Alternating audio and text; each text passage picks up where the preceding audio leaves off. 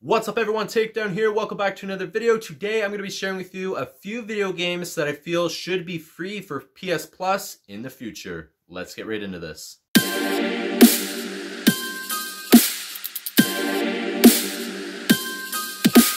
So up first is Horizon Zero Dawn. This is a game that I have a lot of coworkers recommending to me. I've described this on the channel before and I've talked about this game on the channel before but it's just to me, since there apparently is a lot to do in the game and it's a really lengthy game, it's just something that I haven't considered because of I don't have too much time these days for a really lengthy game. Apparently there's a lot to do in it. And I know it's only 20 or $30 in the store, and I do plan on getting it in the future. I really want to play this game. It's just I haven't had time to finish off some of my other games to get time to play a lengthy game. However, I feel if it was free for PS Plus, it definitely would be something I could get into, and at least I'd be able to download it and play it whenever I had time instead of purchasing it and wanting to play it right away. I could simply download it for free for PS Plus and wait a month or two until I cleaned up the rest of my games and then play it. However, I just don't want to purchase it and have it sit, and that's why I just have yet to purchase it. But it definitely, for me, makes sense for it to be a free PS Plus game in the future.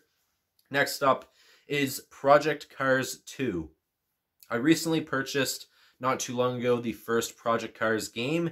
It's a lot of fun. I'm really into racing games. It is closed circuit racing, which most of the time I'm not a fan of. But for this game, it's awesome. It doesn't take long to get used to. The mechanics are awesome. And it's really simple to play.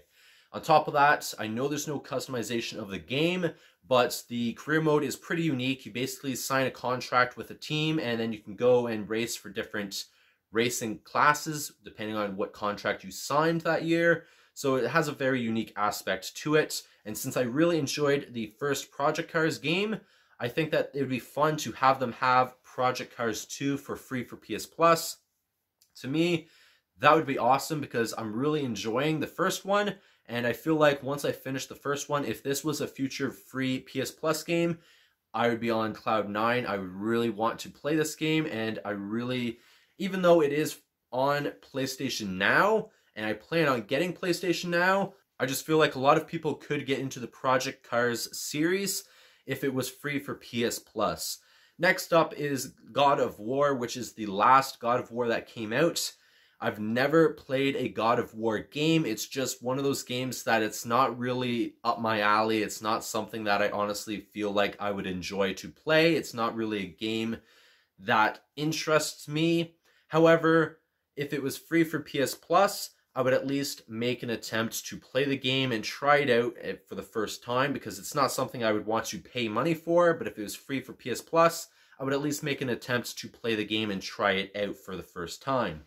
Now, I've done this with other PS Plus games in the past where I've tried them out and upon downloading them, trying them out for the first time, I ended up deleting them or I have them sit for a while and I don't play it because it's not really something I'm into and then uh, end up deleting it.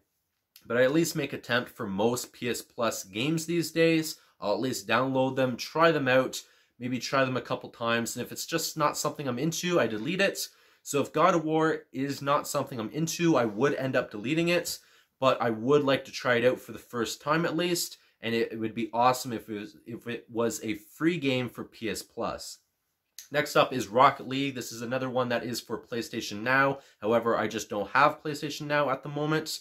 I plan on getting it in the future, but Rocket League's been around for a few years. To me, it makes perfect sense to have it free for PS Plus now because it is one of those games that are really simple, but yet a lot of fun and you could play with your friends. That's what really appeals to me. It is basically soccer with cars. I've already looked up the trophy list for this game. There is a lot of trophies that I think are easy to get or somewhat easy to get and the platinum looks like it's something that can be attainable. So it is something that interests me this game, and I think it honestly makes sense for it to be free for PS Plus.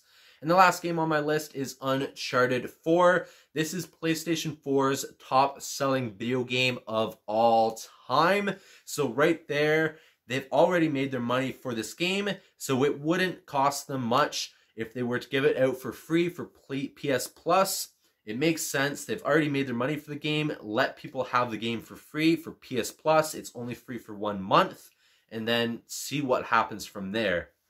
They've done this in the past before where they've given out free games that are really popular. For me, this is a game that really interests me because whenever I first got my PS4, it came with the Uncharted Nathan Drake collection, which I recently just started playing. And the reason for that is because I really want to play Uncharted 4, but I decided because I still have not played Uncharted 3, before I even play Uncharted 3, which I currently own, I want to go back and play the first two Uncharted games, and then play the third one, and then play the fourth one, which looks like it's amazing. I basically want to play the games in order. So recently I've been playing the first Uncharted game. I'm almost finished it. Then I'm going to play the second one. Then I'm going to play the third one, which is the first time I've ever played the third one. And then, then I really want to play Uncharted 4. I know right now, as I'm recording this video, it's free for PS Plus for limited time but I don't know if I'm going to complete the first three Uncharted games in order and complete them in time to still be able to play Uncharted 4 and finish Uncharted 4 before it is taken off of PS Now. So I'm really trying to grind out on, on the Uncharted games. I really want to finish them as fast as I can, but I also want to enjoy the games along the way, and I don't want to burn myself out by just playing them, because that's going to make me not want to play Uncharted 4. But with that being said, if it was free for PS Plus, which it makes sense why they would do it. Then I'd be able to just download it and save it. And then once I finished the first three Uncharted games, which I currently own, at that time I could go and play Uncharted 4 whenever I have time to do so and whenever I've completed the previous ones. So these are the games that I feel like Sony and PlayStation really should have for free for PS Plus because they're games that a lot of people like and PlayStation been, has been doing this over the past couple months of They'll have a couple months of really good games, and then they'll have a couple months where they're not so good games or games that not a lot of people are interested in. And then they go back to games that are really popular once again. So I really hope that these are future PS Plus free games, but we shall see. Comment down below what you would like to see free for PS Plus this coming year or in the future. And I'm going to leave this video here. Please take care. Peace.